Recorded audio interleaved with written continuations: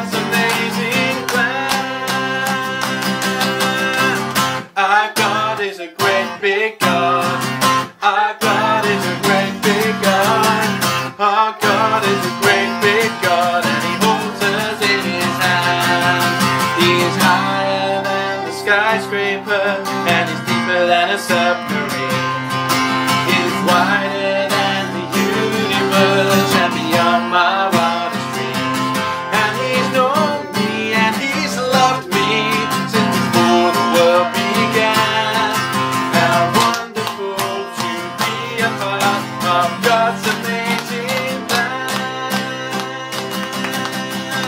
Our God is a great big God.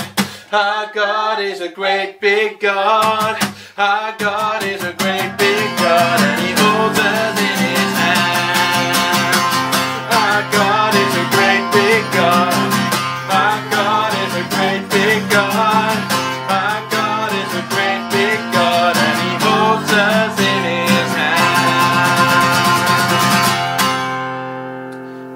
everybody, let's pray together the Lord's Prayer.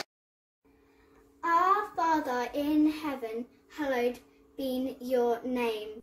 Your kingdom come, your will be done. On earth as it is in heaven. Give us today our daily bread. Didn't our sins. Forgive As we forgive those who sin against us. Lead us not into temptation. But deliver us from evil. for the kingdom, the power, and the glorious are yours now and forever. Amen. Now and forever. Amen. And the kingdom and the power and the glory are yours now and forever. Amen. Good morning, church. I hope you're all well. Um, today we're going to be hearing a story about a woman who had a lot of faith in Jesus. Um, she was one person in a big crowd of so many people, but she uh, really had faith in Jesus. Now, we all have faith in different things, don't we? So this morning I'm thinking um, I don't need to set an alarm in the morning. I have faith that my children will wake me up um, on time every morning. I have faith that when I turn the tap on, water's going to come out so I can have a shower, I can have a cup of tea. Um, and we all put our faith and trust in different things.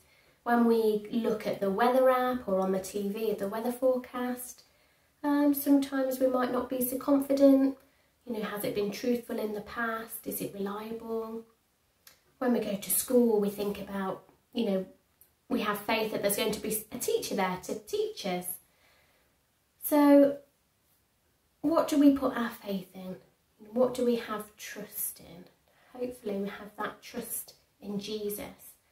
and we're going to hear about a lady who put her faith in Jesus. One day, a man named Jairus came to see Jesus. He cried, Jesus, please come and heal my daughter. She is dying. If you would just touch my daughter, Jairus said, she would be healed.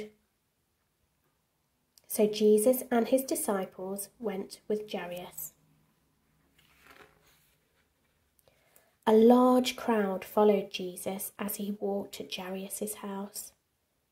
Just then, a woman pushed through the crowd towards Jesus. She had been sick for 12 years. The doctors could not heal her. The woman believed that Jesus could heal her. She thought, I know if I just touch his clothes, I will be healed. As the woman got closer to Jesus, she reached out and touched him. She was healed at that moment. Jesus stopped and turned around.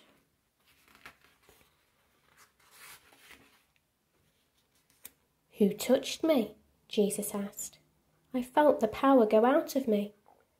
The woman knelt before Jesus and said, I am the one that touched you.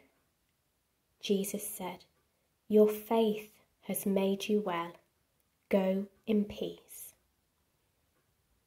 Now we can read that story in the Bible, Luke chapter 8, verse 40. We've read it in this, the Beginner's Bible. So this lady, she was one in a crowd, lots and lots of people, but Jesus still noticed her. He was probably getting tussled and knocked about all the time, but he felt this touch was something different. And this lady, she she had been bleeding for 12 years, so as well as the physical pain, she wouldn't have been allowed to go into the temple to worship, worship God. She was not allowed to be part of the community because she was seen as unclean. And this had been going on for 12 years, that she couldn't be, you know, amongst friends and amongst people she knew. But she still trusted that God could and he would heal her. And she knew that Jesus had the power to do that. How amazing. So we've heard in the story the woman that believed Jesus could heal her she had such a strong faith that she knew if she just touched Jesus' cloak, she would be healed. So we've got a picture here of Jesus. Me, me, me, Okay. me.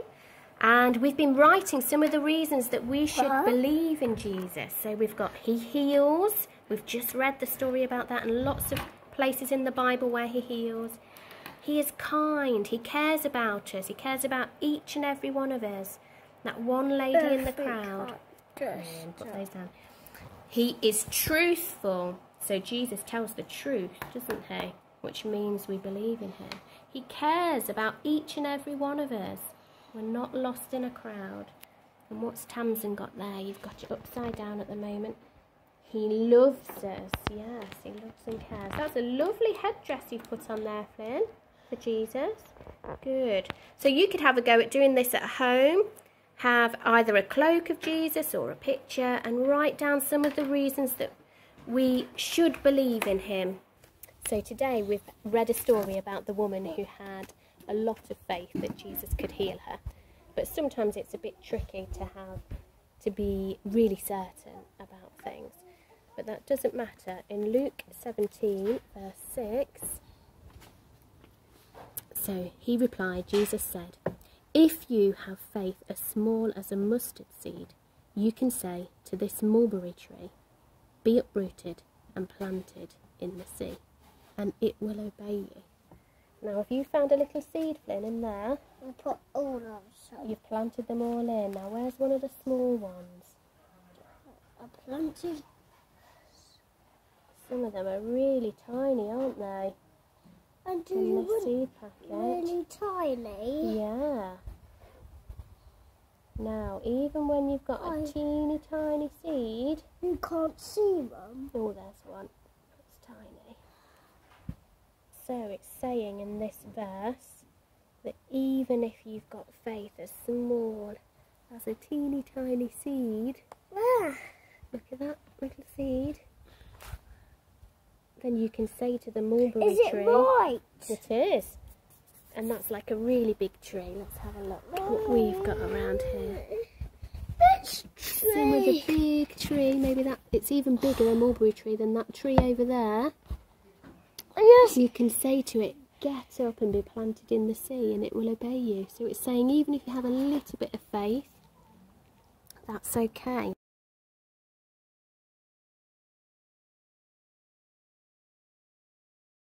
Now, we may not feel that we have as much faith as that the woman that we read about in the Bible.